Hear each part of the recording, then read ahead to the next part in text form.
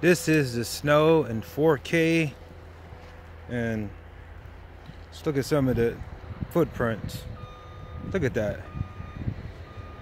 My guess is, yeah, this has to be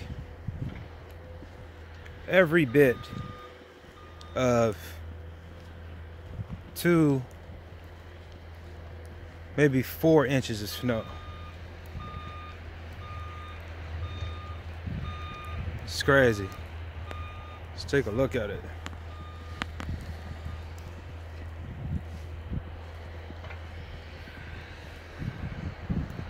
Let's get a look up in the sky. Sheesh. Yeah, let's look how deep it is. Look back in the sky again. This is in 4K, by the way.